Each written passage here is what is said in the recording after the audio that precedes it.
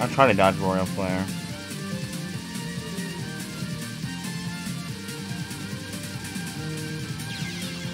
You know what? I actually got pretty close, but you know what?